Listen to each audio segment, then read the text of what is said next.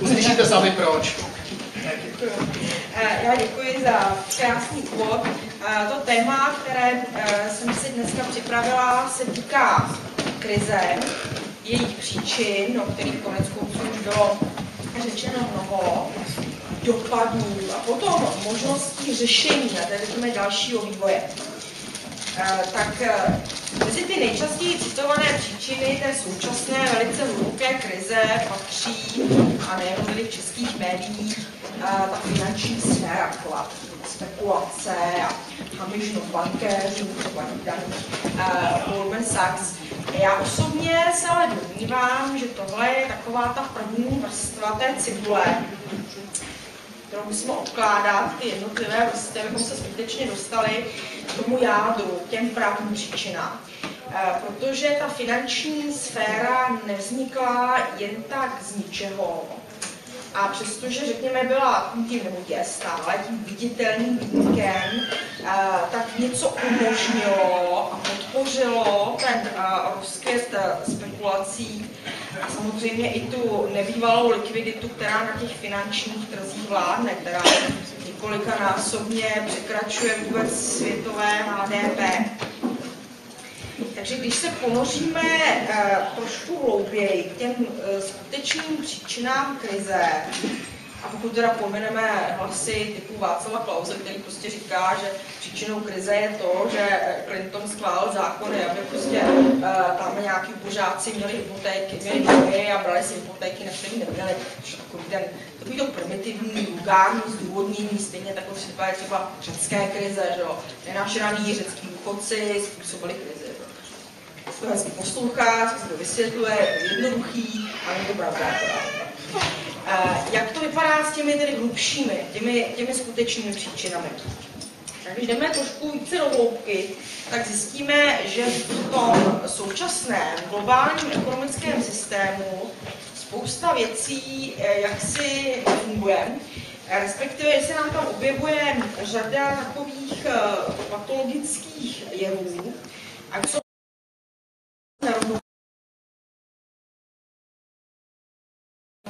aby rozvojové země půjčovaly vyspělým zemím, tím nemyslím jenom toky Čína, USA, a už vůbec jako není asi úplně považováno tím za běžné, aby za nejsilnější e, zemi, nejvyspělejší zemi, e, Spojené státy, aby tahle země byla zároveň největším dlužníkem. To taky asi. Jako, asi tam cítíte, že to není úplně, úplně v pořádku. E, ten další hlubší důvod Eh, je samozřejmě obrovská nerovnováha, nebo řekněme obrovská nerovnost, která se potom projevuje v ekonomické eh, nerovnováze. Ta nerovnost má dneska spoustu podob, netýká se jenom stále se zvětšující mezery mezi severem a jihem, ale čím dál tím eh, více se projevuje uvnitř států, abychom třídně projevuje se to nejenom na tom, že ty eh, příjmy těch nejbohatších vrstev rostou na všechny meze, se říká flying top, že jako by ta vrchní třída úplně uletí. Zatímco v těch 60. letech třeba mzda ředitele ke mzdě dělníka bylo třeba 30 násobek, tak dneska je třeba 3000krát víc to samozřejmě narušuje jakékoliv představy o produktivitě práce, protože prostě jak si je mimo jakékoliv fyzikální možnosti, aby prostě pracoval tři tisíckrát nebo kolikrát efektivněji. Takže tahle ta uh, nerovnost uh, má uh, mnoho podob a jak se zdá, tak uh, dochází k jejímu dalšímu prohlubování. Už třeba jenom uh, tam další příklad, nevím, jestli znáte fenomén pracující chudoby, to je věc, kterou se u nás vynikajícně zabývá profesor Keller. Dřív ta pracující chudoba, tedy mám zaměstnání, pracuji, ale přesto z toho nemohu přežít nebo jen tak tak přežívám, byla považována za jeden z charakteristických znaků rozvojových zemí. V současné době, a už nějaký zhruba 20 let, je to součást trhu práce ve Spojených státech. No a bohužel už tenhle ten jev uh, dorazil i do Evropy. Možná byste toho v Německu moc nečekali, ale už i tam se s tím setkáváme. To znamená přijímání několika velmi špatně placených úvazků, ze kterých se lze uh, stěží uživit.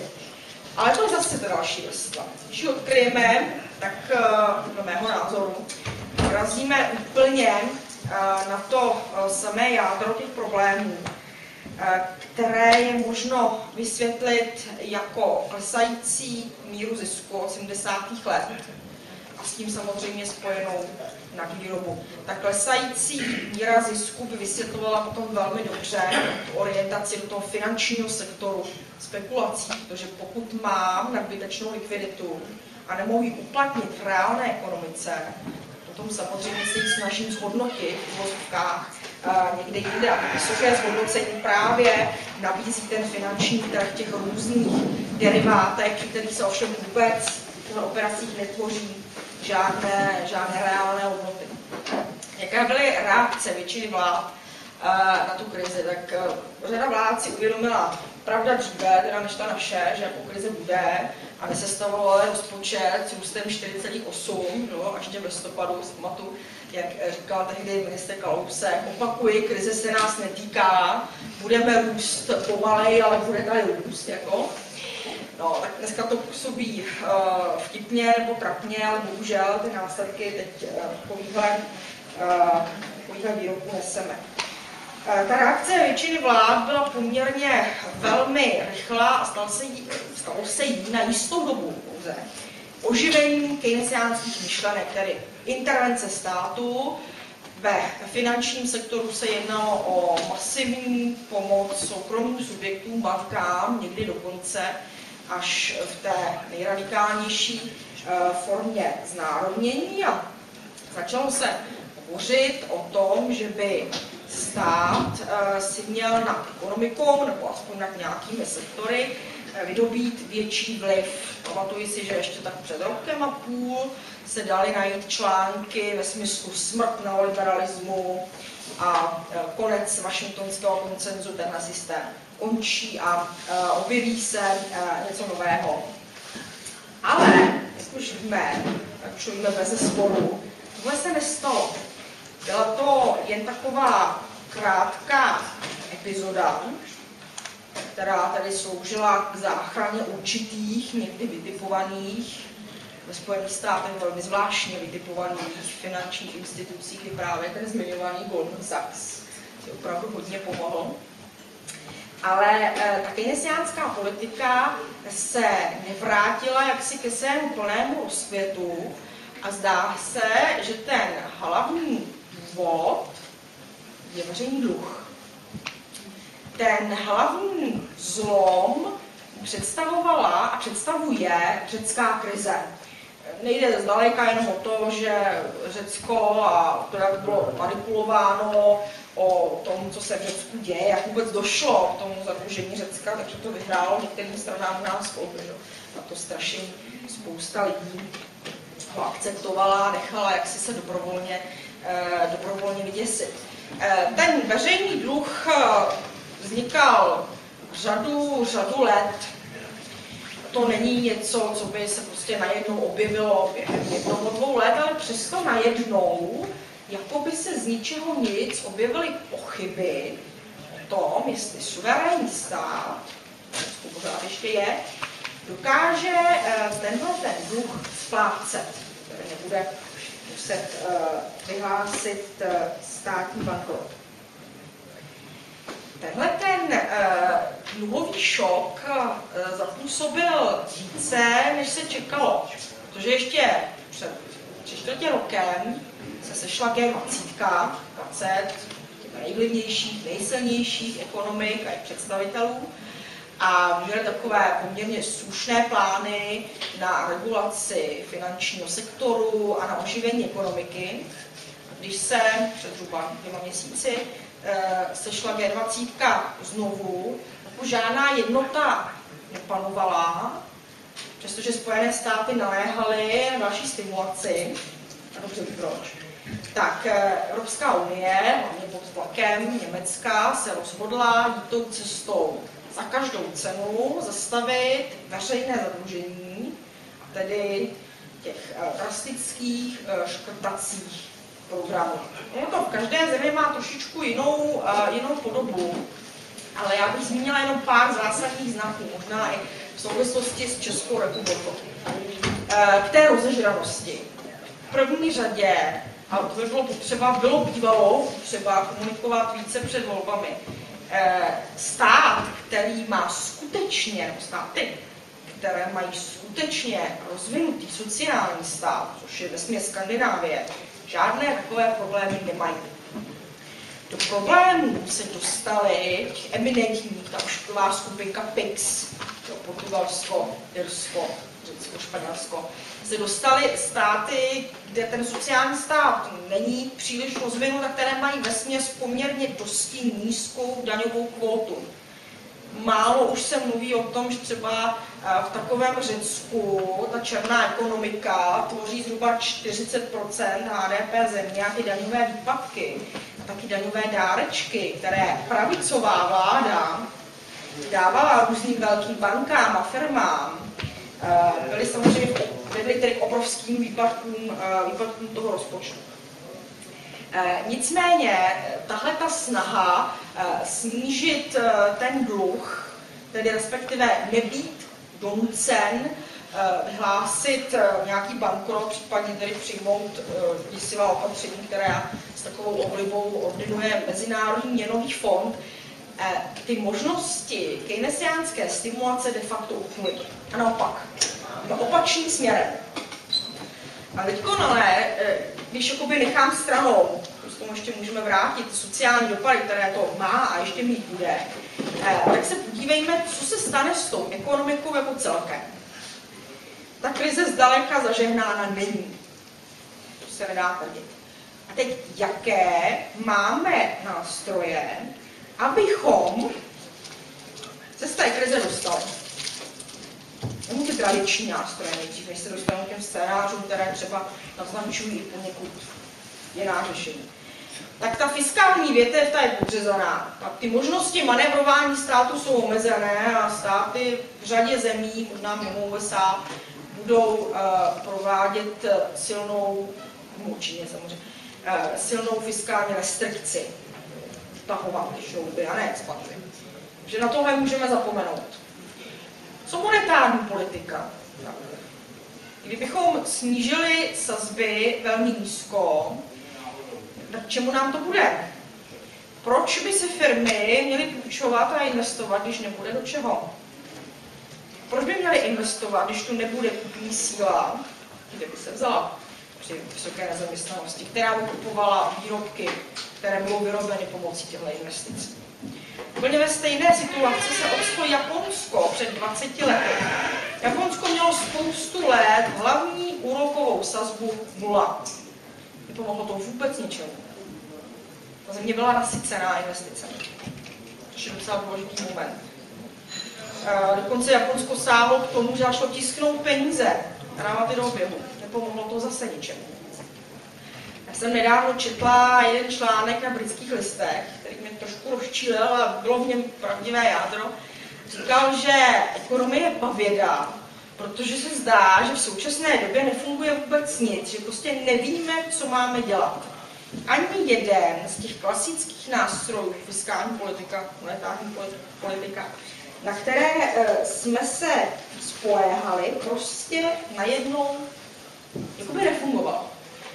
No, ono to taky souvisí s tím, že ta krize je skutečně hluboká, systémová, a kdybychom se podívali do dějin, to není první hluboká krize, zjistíme jednu velmi znepokojivou skutečnost.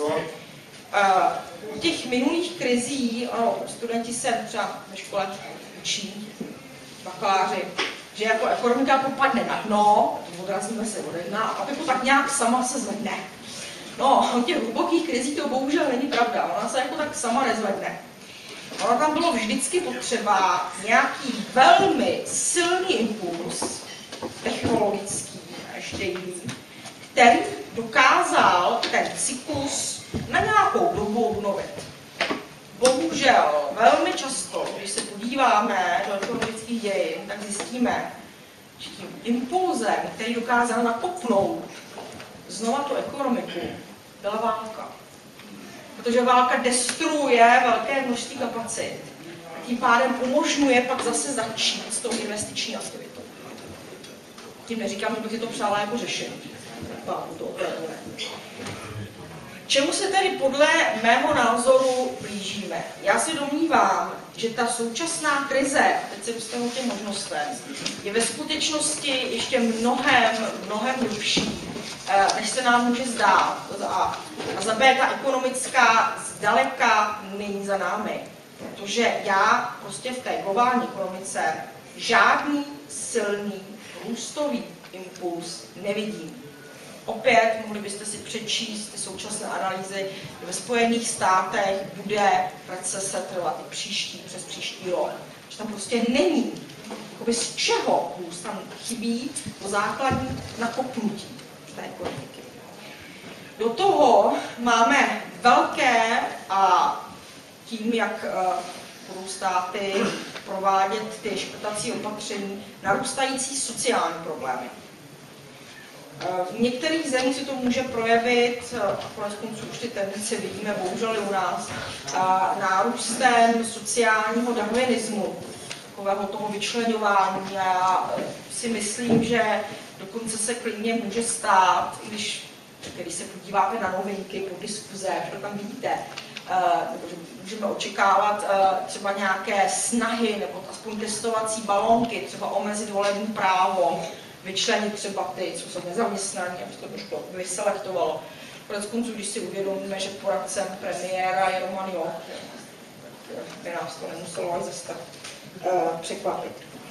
Takže dimenze ekonomická, dimenze sociální, konec konců tady by se patřilo říct, i ta dimenze ekologická. Uh, Kaštyk tady některé věci nastínil. Ono nejde jenom o to, že my ekonomové, tady budu střílet do vlastních řad, používáme velmi nevhodné ukazatele, včetně HDP, mimo jiné, které prostě tu realitu takovým způsobem deformují, že jakoby to, co neumíme vyčíslit, tak nevidíme, necháváme to stranou a ten dluh existuje, bude se zhoršovat, ekologický, sociální, ale protože není v číslech a neobjeví, neobjeví se nám ve státním závěrečném účtu, tak ho prostě ignorujeme ale ty ekologické problémy do nekonečna ignorovat nelze.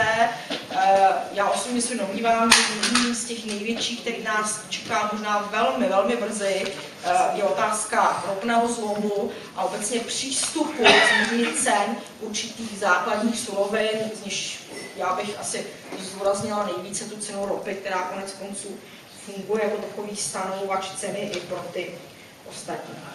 A jaké se nám nabízí možnosti nebo možnosti, řekněme, dalšího vývoje. Tak, eh, já se zabývám mimo jiné trošku systémovou teorií. Já, uh, ona teda původně teorie z přírodních věd, z fyziky, ale ona se dá docela slušně aplikovat i na společenské děje. Ta říká zhruba něco ve smyslu, že když je systém stabilní, tak se prostě pohybuje jako v takovém toku dál. A ve chvíli, kdy ten systém už se nedokáže sám vnitřně stabilizovat, kdy prostě ty rozpory v něm přerostou v určitou mes, vzniká chaos. A objevuje se to, čemu se odborně říká bifurkační bod, ale prostě takové okno jakoby. A v tu chvíli se otvírá vícero cest vývoje toho systému, včetně těch, které by se za normální situace stály, eh, zdály nedosažitelné. No a moje hypotéza je, že eh, ten chaos, v tom chaosu teď jsme, znamená v tom, že neznáme řešení, nevíme si rady, tápeme, a to nejenom v ekonomice, tam samozřejmě jakoby, já to vidím nejvíce, ale není to jenom tam. A že už se to okno, to znamená ta možnost, že se nám budou objevovat různá alternativní řešení, blíží poměrně, eh, poměrně toho důvodu si myslím, že bychom měli zhruba učit, jakými cestami se ten vývoj může ubírat a taky být na to připraveni. A jako nebrat to jen tak pasivně, protože ve chvíli, ten vývoj je hodně nelinární, hodně nestabilní, tak každá i malá událost může mít velký význam. Takže to dává i jistou naději, jako to, že činnost každého z nás může něco ovlivnit a mnohem víc, než třeba, když ten systém prostě tak nějak stabilně si jede v těch zajetých kolejích. Tak já jsem si vytipovala takové tři scénáře, nevím, jestli s nimi budete souhlasit, ale je to tak zhruba, jak to vidím já, jakými cestami bychom se mohli vydat, nebo by se společnost mohla vydat. Ten první scénář je vlastně prodloužení toho, co je teď, to znamená je taková hladší extrapolace do budoucnosti, e, není moc pěkná, já tomu říkám scénář fašizace společnosti. E, co by to předpokládalo? Předpokládalo by to, že ten růstový impuls by se nalezl ve válečných konfliktech, a ono už spousta z nich e, je na spadnutí, ať je to právě ten Irán nebo to zmiňovaná Venezuela, která tam provokuje v té Jižní Americe.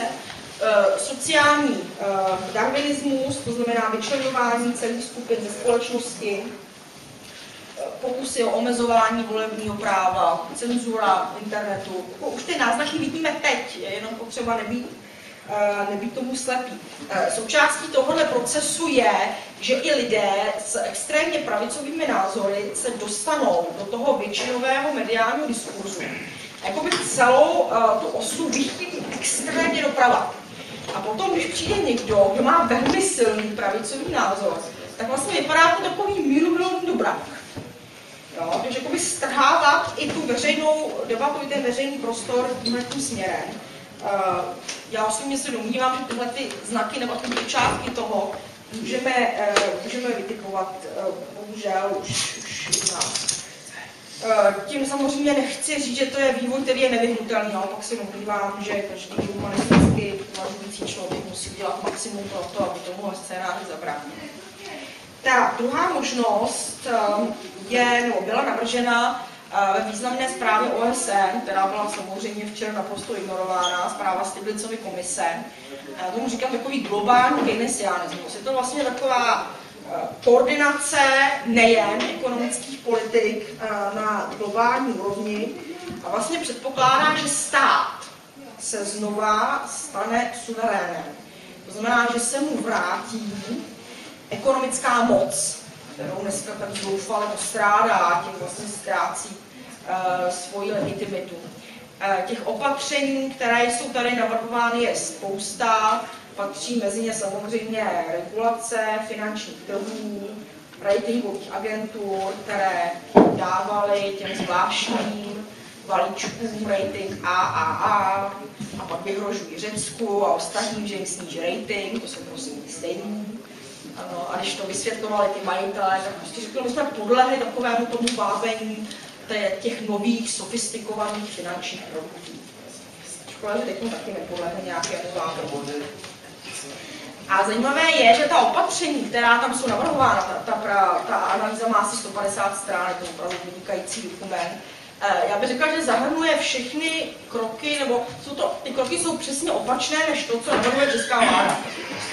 Takže se tam hovoří o zavedení progresivního zdanění, o důrazu na rozvoj sociálního sektoru, který by se mohl stát tím ústojím impulzem ale nemůžeme čekat, že sociální zabezpečení, včetně samozřejmě ekologických věcí, bude financovat trh. Trh je nástroj efektivity, ale není to nástroj, který bere ohled na něco jiného, než je okamžitý zisk. No, prostě o něj nemůžeme čekat. Jo. Eh, já vždycky, když někdo začne říkat, že uh, trh je nástroj sociální citlivosti, tak v tu chvíli samozřejmě je to neoliberál, jo, protože tím to spojuje. Jo, to, co trh vytvoří jako efektivní, to je i spravedlivé. spravedlivé. No, ta zpráva předpokládá, že vlastně země budou ochotné a schopné se dohodnout a že vytvoří jakýsi nový globální koordinační orgán v rámci OSN. Eh, představa eh, to není špatná, ale já se obávám, že tu hodnou dobu, která byla zhruba, řekněme, do vypuknutí té řecké krize, už jsme tak nějak. Eh, a že teď finanční trhy, za nimi se obvykle skrývá pouze jako několik jednotlivců. To jako nejsou žádní jako géniové, kteří prostě rozumně posuzují, co se kde děje, jo? to je naprosto naivní představa. Eh, dali najevo, eh, co si mohou a nemohou dovolit. Ten další z těch scénářů, ten třetí, to je změna systému.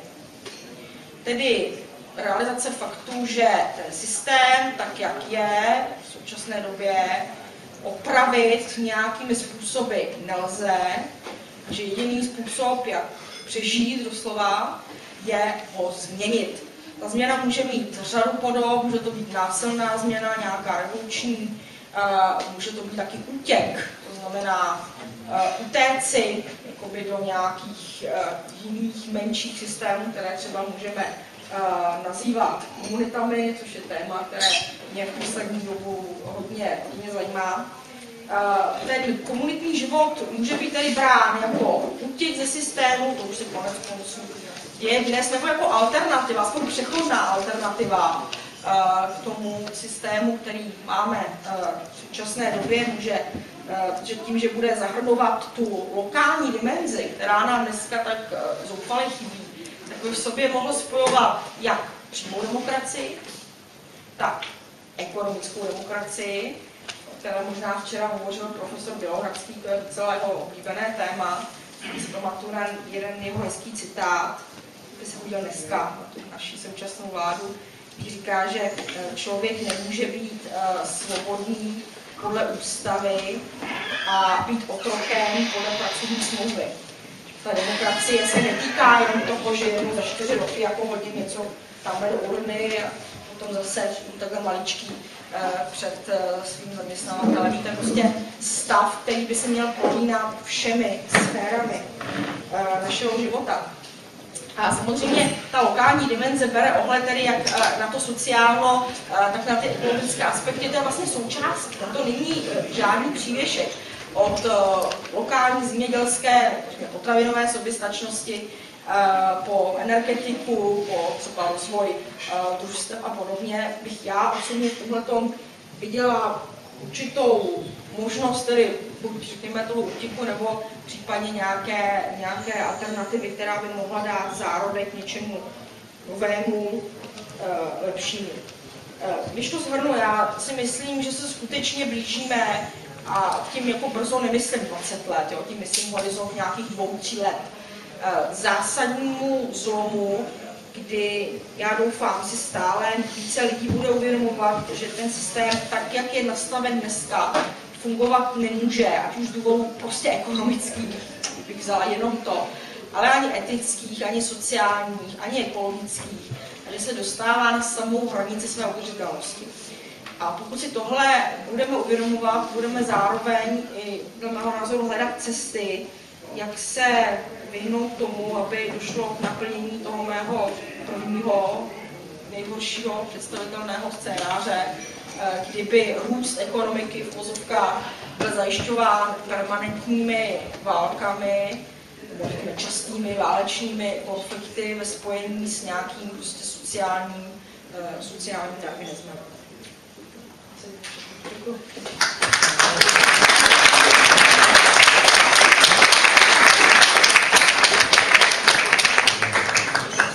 Vážení přátelé, slyšeli jsme samozřejmě očekávatelně podnětný, eh, podnětnou přednášku nebo úvodní referát, takže já vás prosím, abyste se hlásili do rozpravy. První Honza Barta, druhý Martin Čáslavka, eh, pořadí. Takže prosím Honzo. Eh, Děkuji. Já jsem chtěl se vás zeptat na tu věc. Já nechápu jeden moment. Proč je těch, jako řekl bych, těch národních ekonomikách takový velký důraz a důležitost připisována těm finančním trhům? Já jsem nějak tuhle tu věc jakoby soukromně ať už investičně nebo i teoreticky studoval a jako skutečně eh, domývám se ten váš závěr, že skutečně se zatím skrývá pár jednotlivců, takzvaných tvůrců toho trhu, jo, kteří si v podstatě hrají sami sobě do kapsy a zneužívají v podstatě, nebo Eh, když mám být korektní, tak využívají, dejme tomu, prostě jakoby, já nevím, nějakých eh, davových prostě závanů prostě lidí, kteří teda svěřují kvůli eh, lepším možnostem zisku prostě svoje soukromé prostředky do těch finančních prostě trhů. Jo? Proč? Ale proč teda ten stát a ty národní ekonomiky tomu přikládají takovou velikou důležitost a neustále se o tom mluví? Podle mě to prostě nemůže takovou důležitost mít. Jo, a řekl bych, že je to nadneseno. Dotaz. No ono se říká, kdo ovládá eh, tvorbu peněz, emisi peněz, ten vládne světu. Ono na tom něco je, ta ekonomika je peněžní. Ten vliv uh, finančních trhů je jednak přímý, to je v situaci, kdy ta země si potřebuje učit a její domácí kapacita nestačí. To znamená, že si nemůže půjčit od vlastních občanů. Ve chvíli, kdy ten dluh je pouze domácí, to znamená, že jakoby bychom, my bychom my všichni tady financovali náš stát a všichni třeba stejnou částkou v ideálním případě, tak to vůbec nebude problém. často vlastně jako dlužíme sami sobě. No. Ale ve chvíli, kdy uh, občané té země prostě nemají třeba tu kupní sílu, aby mohli si, si kupovat třeba obligace toho daného státu, tak nastupují ty finanční trhy. A to je třeba právě problém Řecka. Jo? Ten řecký dluh je z největší části vlastně zahraničí, nikoli domácími subjekty. To je ten přímý vliv. Uh, ten druhý vliv je samozřejmě zprostředkovaný v tom a mediálně podpořený samozřejmě, v tom, čemu se říká důvěra. To znamená, to je propojení, velice mocné propojení toho finančního sektoru, té finanční oligarchie s ratingovými agenturami, které neustále hodnotí, kdo je jak schopný a neschopný splácet, nebo jak konkurenceschopný a tak dále.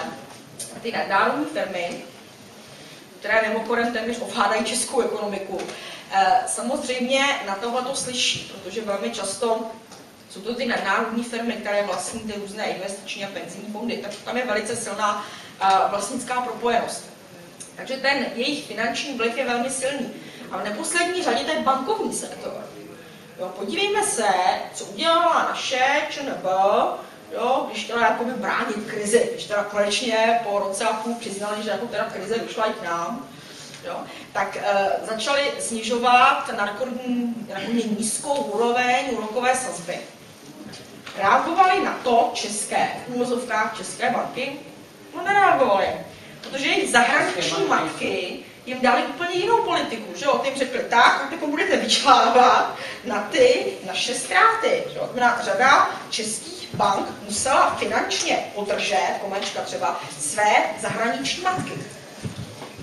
Takže ten vliv toho finančního sektoru uh, je velmi silný a je o to silnější, že je uh, globálně rozprostřený. Navíc řada těch transakcí je nesmírně komplikovaná.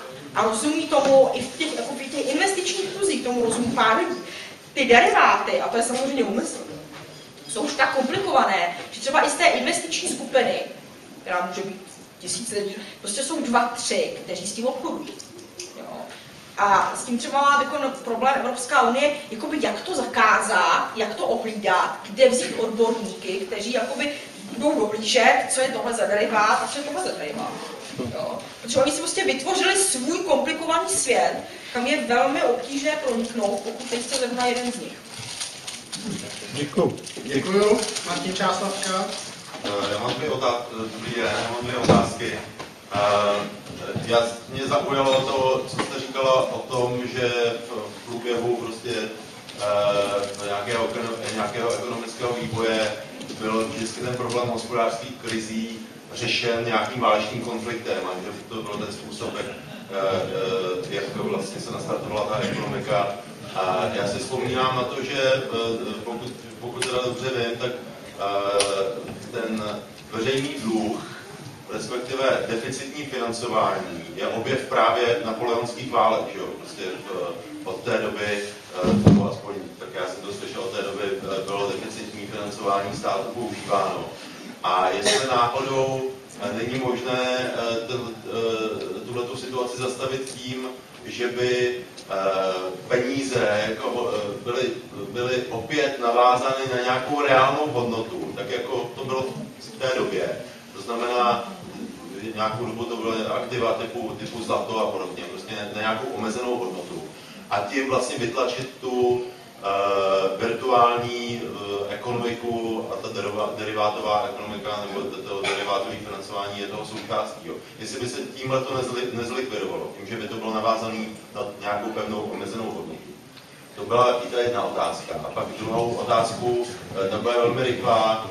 Jak vidíte budoucnost Evropské měnové unie Eh, v momentě, kdy je centralizovaná, eh, centralizovaná monetární politika, takže ty státy prostě nejsou vlastně schopni sami eh, za sebe, eh, tak jako Řecko, prostě dělat nějaký eh, kroky monetární politiky, ale mají svoji vlastní fiskální politiku, do který nejsou ochotni prostě, kterou nejsou ochotni sdílet s těmi ostatními. Jestli je ta cesta centralizovat tu fiskální politiku, anebo znovu decentralizovat monetární politiku a tím pádem zlikvidovat měnovou unii. Tak děkuji, to jsou krásné dotazy jeden obtížnější než druhý. Tak, k té Evropské měnové unii. Eh, víte, tyhle ty problémy se předvídaly už dávno předtím, než ta měnová unie vznikla. Ty koncepty, třeba Mandelova teorie optimálního eh, měnového území byly známy. On tam jednoznačně vyjmenoval, jaké předpoklady musí být splněny, aby ta měnová unie mohla fungovat. Říkal, buď tam prostě bude maximální flexibilita mest a cen, tedy pracovní síly, což v rámci EU není z kulturních, sociálních důvodů. A já za sebe neříkám, že považuji za žádoucí, aby tomu tak bylo, jo, ale teoreticky. No a nebo tam v té Evropské unii, měnové unii, musí být nějaký redistributivní mechanismus.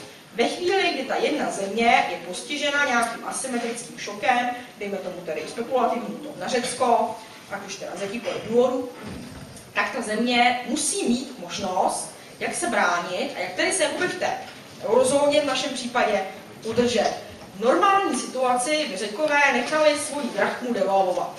Jelikož nemají drachmu a devalvovat tak si nemohou, tak se samozřejmě ocitli v nesmírně komplikované situaci.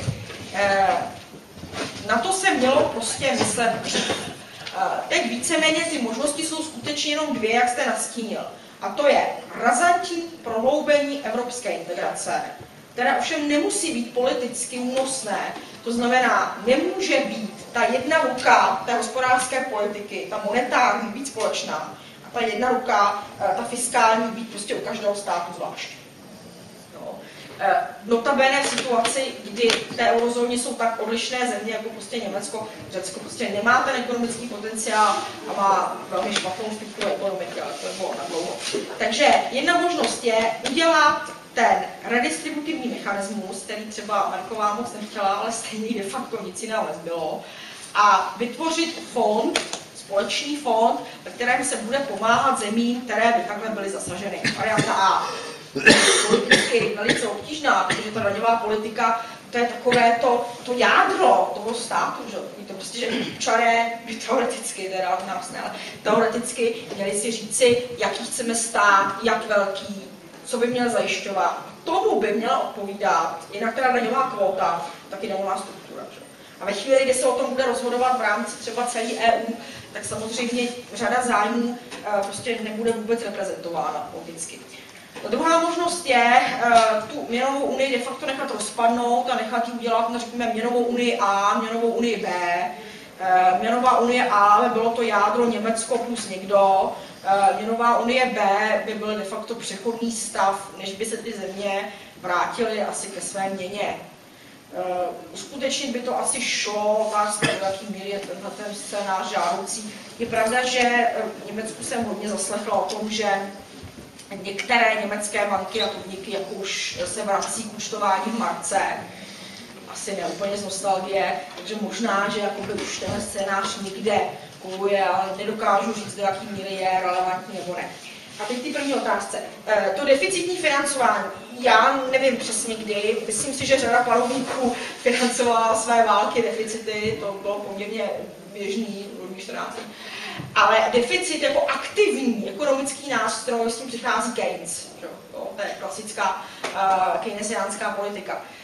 Co se týče té měny, to je velmi obtížná otázka. Uh, co udělat s tím finančním sektorem? Já mám někdy chuť říct zrušit a začít úplně znovu. Uh, no, každopádně není asi úplně normální, že peníze vznikají dluhem. Myslím, ty, ty, ty virtuální bezhotovostní peníze a ty tvoří většinu toho, čemu my říkáme dneska peníze. Ale mimochodem je velice obtížný dneska učit, co jsou peníze a co nejsou.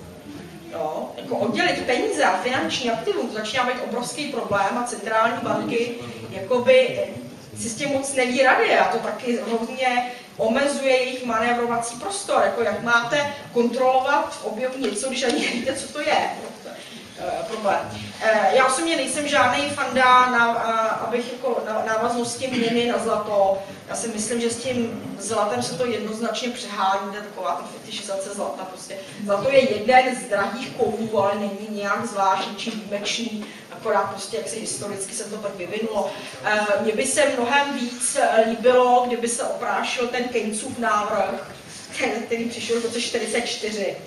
Eh, A to je Bankor, prostě jednotka, která by byla navázána na reálnou ekonomiku tím, že by byla napojená na 30 hlavních komodit, takže ne na jednu za to, ale na 30 hlavních, počínaje pšenicí a, a, a konče ropou, třeba ropou.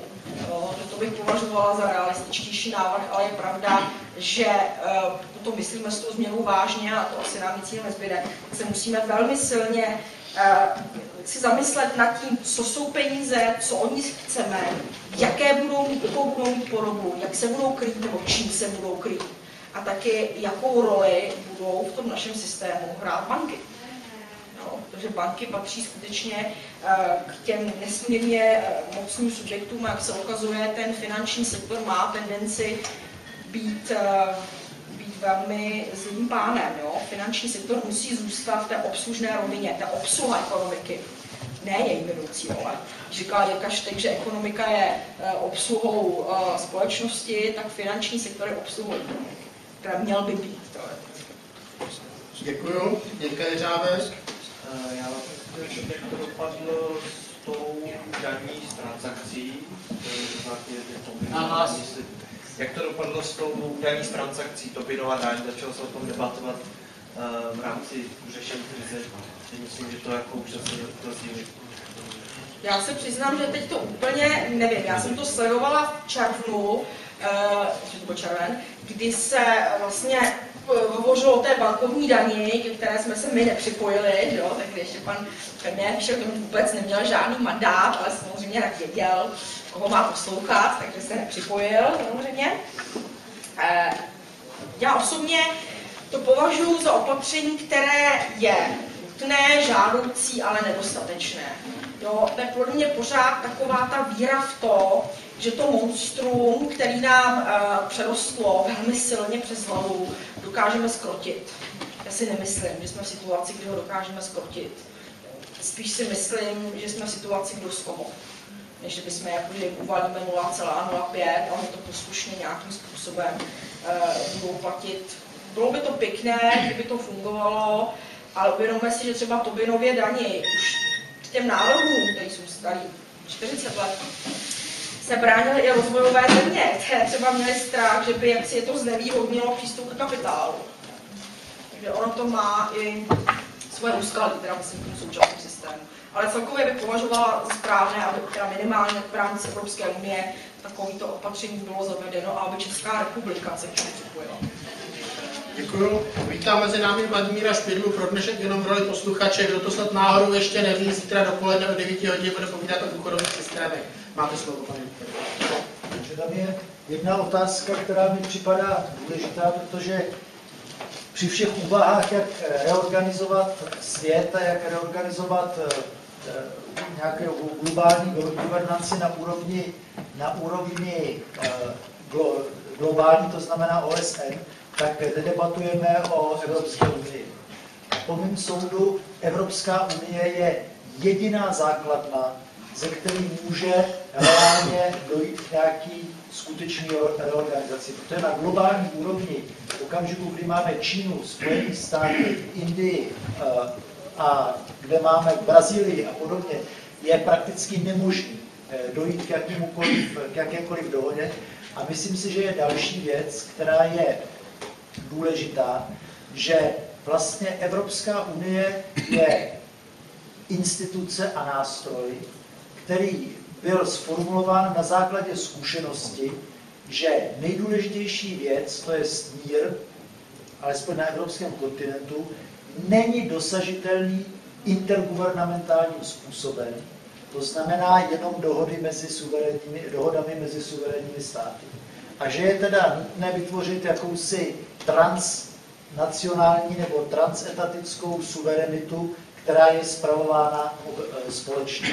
A to si myslím, že v těch úvahách Já sám jsem se teda nějak do hloubky nedostal, ale v těch úvahách mi to opravdu chybí, jak využít Evropskou unii jako určitý motor eh, globální změny. Ona eh, například, i když se považuje různé ekologické iniciativy v současné době za neúspěšný, například Kodaň a podobně, tak přesto koncept Evropské unie udržitelného rozvoje je principiálně podle mě nejnadějnější z hlediska globální struktury, protože Čína takový koncept nemá, Rusové ho nemají, Spojené státy ho nemají, protože oni nahlížejí, a to si myslím, že je otázka, oni nahlížejí na ekonomiku jako na jinou formu moci. No, je ekonomika jako moc a ona se vyvíjí proto, aby koncentrovala moc, nikoli aby uspokojila nějakou kvalitu života. A právě v Evropě, kde byl ten strašlivý pocit těch dílčích porážek, kdy prohráli všichni, že francouzi, Němci a tak dále, tak ta uh, koncepce moci jako něco, co je velmi významné sami o samo o sobě, je trochu narušená a proto ten vývoj jde jinak. Čili zdá se mi, že v té debatě by stálo za to, končím, velmi prohloubit uh, myšlenky, jak reorganizovat a sformulovat Evropskou unii jakožto odpověď na některé globalizační tendence, protože na úrovni intergovernmentální ta odpověď je nenalezitelná. Já bych uh, souhlasila s tím, že ta zpráva, ten scénář té globální governance, té globální koordinace je velmi nepravděpodobný za těch nejvhodnějších podmínek, které teď teda úplně nepanují. Je pravda, že Evropská unie bývá považována v řadě zemí za vzor, konec konců vývoj v EU si jako vzor třeba vzali jeho východní země ASEAN. Evropská unie zároveň patří k těm, které nastolují, jsem chtěla dát minulý čas, nastolovali, závažná sociální a ekologická témata vůbec na světovou agendu. Vůbec se spolu platí. V tomhle tom ona byla jakoby předvoj, můžu říct. A já když jsem psala svoji dizertaci, když teda déle, tak si pamatuju, že právě uh, jsem uvažovala o tom, že ten sociální evropský model by mohla být jedna cest, jak by se uh, Evropská unie vyhla tomu a dokázala, řekněme, odolávat lépe tomu uh, globalizačnímu tlaku. Jenže to by ten sociální model nesměla sama destruktovat. Evropská unie si musí sama vyjasnit, čím chce být a kam chce jít. Jo, ono už to, že eh, některé státy jsou v měnové unii a některé ne, tak samozřejmě vytváří jinou pozici eh, mezi těmi zeměmi. A Evropská unie se nalézá na určitém rozcestí a pokud se vlastně podíváme na ten úplně aktuální vývoj, tak zjistíme, že eh, enormně narostl, eh, a byl silný, ale podle mě ještě teď se zvýšil ten vliv Německa. Že vlastně ta německá hospodářská politika se jakoby začíná přelévat těch ostatních zemí, o nás tady nemluvě, a to není politika sociálního státu. Naopak, jo, to je politika odbourávání sociálního státu, růstu pracující chudoby, je to politika mzdové deflace, jo? Tlak na, je to americká cesta trošičku, tlak na uh, pokles, uh, pokles mest a vlastně ten hlavní tahou německé ekonomiky už několik let není vnitřní spotřeba, jak byste očekávali u velkého trhu, jako Německo je, to export. Což mimochodem já si domnívám, že je stejná strategie, jako u nás chce aplikovat tahle vláda. Jo? Že udušení domácí poptávky a všechno bude vnějškem. Německo to má globální, půjdeme přes Německo. Já si myslím, že tohle není ta správná cesta pro Evropskou unii. Jo. Jinak obecně bych souhlasila, ale prostě ty konkrétní znaky nebo ten současný vývoj mi k tomu moc nenahrává. Děkuju, prosím. David Mám, já bych se chtěl zeptat... Se prosím vás v otázkách? Hned. Dobře, děkuju. Mě zaujala ta poznámka o krátkém časovém období, ve kterém očekáváte nějaké poznání nebo uvědomění společenské jakoby té systémové neudržitelnosti. Hovořila jste o, horizontu dvou nebo tří let. Já vidím, nebo spatřuju v tom krizi, stru, jako strukturální krizi, nikoli systémovou. A zajímá mě teda, kde indikátory eh, z čeho soudíte, prostě z čeho pramení to vaše přesvědčení, je to krátkou. Já jsem myslela, že jsem to možná, jsem to asi neřekla dost, eh, dost jednoznačně. Eh, Já se domnívám, že eh, ten, moje přesvědčení o tom krátkém horizontu plyne jednak z toho, že se nepodaří překonat ekonomickou krizi, že podle mého názoru tam chybí ten základní růstový impuls. Jo, to nemůže prosím být export. Jako všichni nemůžou mít uh, kladnou obchodní bilanci, to prostě dost dobře nejde. Jo. Uh, takže to je podle mě docela dost zásadní důvod. Může to pravda být nějaká prostě dlouhodobá stagnace, že to elko, nějaký, nebo nějaký trošku dvojitý V. Ale já osobně se domnívám, eh, že eh, tomu tak nebude, ať už z důvodu eh, té vlastně enormní propojenosti ekonomik v současné době, anebo právě z těch důvodů sociálních. Já nevím, jestli jste zaznamenali Břinského a jeho nedávný projev, kdy jakoby varoval světovou elitu s tím, že žijeme v nebezpečné době a že lidstvo se začíná rychle probouzet. Jo, to bylo takové, jakoby, pro něj to bylo, byl varující signál. A ten druhý, podle mě, nebo ten další, podle mě, eh, je krize, kterou můžete chápat jako strukturální, to znamená, eh, dle mého názoru, přicházející krize surovinová s tou hlavní složkou ropné krize a případně, no, případně krizí potravinovou. Já si myslím, že to, co jakoby bude jedinečné v tom, že tyhle ty jednotlivé krize jakoby přijdou najednou, se smíchají. Udeří jakoby eh, ten eh, jeden okamžik a ten eh, zásah bude koordinovaně tak silný, že podle mě vytvoří tu možnost té systémové změny. Se může to, to uvidíme během několika málo let. Uvidíme na desátém ročníku naší letní akademie. Prosím. Jedna malá podotázka, prosím, Lesůvka. nějakou českou banku, mělo vlastně tady české banky. Znáte nějakou českou banku, která sídlí v České republice? Otázka, jenom drobná. Znáte, neznáte? Družstevní záložna FIO.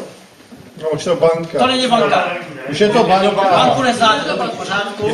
Je to banka. Ne, ne, pozor, družstevní záložna, To družstevní jsem záložna. součástí družstevních záloh. Moment, eh, jenom jeden bude hovořit. Eh, Jsem- Já se jsem- omlouvám, že jsem to posunul. eh, Jestli mi založili banku, takže tak je to banka. Je to Družstevní banka. záložna má, má kreditaci banky, není banka, jo? Jsem člen družstevní záložny, ano. Není banka. Dobře, takže banka FIO. Další otázka. Tak. E, Rozdíl mezi finančním trhem a finančním tokem. Tak finanční trh, mezi finančním trhem a finančním tokem? Ano, to mě velice konkrétně zajímalo. Finanční, vy jste tady zmínila nám prostě nějakou informaci finanční trh, jak to funguje. Mezi finančním trhem a finančním tokem. Tak trh je soubor institucí a subjektů, To je, které to je, ně pardon, to je, to je velice finančně e, jako záhodná otázka svým způsobem. Ale prostě, Dobře, tak nechte do, dokončit ano, odpověď. to. Tak subjekty finančního trhu můžou být uh, jak banky, tak třeba právě různé hedžové fondy, penzijní fondy, investiční fondy a tak dále. No a ten finanční tok může mít obrovskou spoustu podob, to může být přímá zahraniční investice, nebo to může být nějaká spekulativní investice, může to být eh, spekulace na měnu určitou, může to být třeba portfoliová investice, kdy si někdo kupuje třeba obligace dané nějakou podniku a podobně. To je spousta podob. Tak, děkuji. Ale to není. Janušová, pardon, už tam měl dvě otázky, když tak pak, jestli nebude se hlásit někdo jiný, tak se To bude zdůraznění, nebyl to rozdíl. Paní Janušová, Já bych teda především trošku odmítla, poprosila bych, eh, aby se během eh, takhle zajímavých eh, jako přednášek zavřeli dveře tamhle, protože když jsme v divadle, tak taky nechodíme na pivo, takže byste chviličku. Strašně to ruší a trhá to pozornost jako podle mě trošku na místa, takže abyste byli tak laskaví. To je jedna věc. Druhá věc, já jsem eh, vlastně chtěla také ocenit z té otázky, to je, že jste se zmínila o jaksi neměřitelných záležitostech, otázce vlastně té zadluženosti, které jsou velice málo, doslova jsou neviděny a nechtěné vidět. A tohle to je věc, která dopadne velice tvrdě eh, na, na nás, na všechny. A rozhodně si nemyslím, že v Evropě nejsou peníze nástroje věci. To oponovala panu Špidlovi. Myslím si, že 90% běžných lidí ví, že jsou. Jsou a budou. Je to, je to prostě tak. A ty peníze Pardon, nemá, na tak, eh, prosím? Pardon, prosím. Pokračujte. Eh, takže nevidím, nevidím takový ten důvod a ta probléma problém s globální ekonomikou pravděpodobně taky bude, nějaké ty tlaky a podobně. Takže já bych se právě zeptala na to, jestli teda podle vás eh, je to tak, že teda ta moc ekonomická tady vládne podobně jako ve světě, anebo jestli teda máme trošku šance a jak bychom mohli zviditelnit, to je taková podle mě důležitější otázka, ty neviditelné věci, nebo víc, víc jim dát větší hodnotu. Já bych eh, k tomu připojil drobnou konkretizaci. Jestli bys mohla eh, říct svůj názor na to oceňování ekosystémových služeb, aspoň přibližně, jak ho dělá docent Seják a spol. Jestli myslíš, že, že komodifikace přírody a ekosystémových služeb, jestli je to cesta, po které má cenu jít. Takhle, já si myslím teda, když to dopromenu k tomuhle, já úplně nejsem nadšená z toho, když se příroda nebo prostě sociální vazby snaží podřídit tomu systému, které jsme, a snaží se uměle vyčíslovat. Jo, to znamená, že prostě tomu přiřadíme nějakou hodnotu a prostě dáme pelikán, že jo, v Mexickém zálivu, jeden pelikán, dva dolary, jo, eh, tímhle tím stylem. Eh, Mně to přijde, že to je, že to je hrozná vulgarizace toho, toho světa, ve kterém žijeme. Je to takový to, taková ta redukce člověka na to homo economicus. Prostě buď si spotřebitel, jo, a, že, nebo si zaměstnanec, a podnikatel ještě nejlépe, ale to tak všechno. Prostě, jo. Je, to, je to redukce člověka a to nám prostě přijde, já, já bych to radši obráceně, já bych prostě hledala eh, nějakou jinou metodu, která by nám umožňovala, nevím, jestli přímo vyčíslovat, ale alespoň prostě mít nějakou představu o tom, co je jak hodnotné, s tím, že to nenutně musíme přepočítávat na, na peníze. Uh, jo, já, já nedokážu ten systém navrhnout. Já vím, že v rámci OSN se třeba diskutovalo zelené účetnictví, což už je takový, jako to, to je pořád, že v rámci toho se snažím nějak účetně zachytit externality. Eh, Mně to přijde takový jakoby nedokonalý, eh, ale jako chápu to docela dobrý pokus, jo, ale já bych tohle cestou nešla. Nejsem schopná říct, co bych vymyslela místo toho, tady jako takhle z fleku, že bych dokázala něco vymyslet, a bych to prostě vzala z toho opačného gardu. Jo, z toho, že prostě musíme, podle mého názoru, změnit systém, jak vůbec ten svět vidíme, jak ho vyčíslujeme. To HDP, to je špička ledovce prostě, jo. Tady jsou další prostě jiný uh, komplikovaný čísla, vazby, prostě ta redukce všeho, uh, co nás obklopuje na čísla, jakmile to prostě nemá číselnou hodnotu, tak to uh, nemá pro tu společnost cenu. Jo? Všimněte si, ta cena a hodnota jsou velice odlišné pojmy a tady se běžně zaměňují. To je jeden z hlavních problémů, jo? že prostě tady nás obklopuje spousta těch skrytých dluhů, ať již v té oblasti sociální práce, oblasti ekologické, ale tím, jak jsem říkala, prostě nejsou v tom závěrečném účtu, že jo, tak se tím prostě nemusíme zabývat. Ono nás to teda stejně dohodí, až nás to dohodí. Nebude to příjemné, ale teď to není vidět, jo, číslo to není, tak se na to vykašleme. Jo, je potřeba skutečně tohleto zásadním způsobem přehodnotit a nejenom teda včera, jo, to vyžaduje samozřejmě nějakou globálnější reflexi. A teď nevím, co byla první otázka. Máte ještě nějakou nezodpovězenou?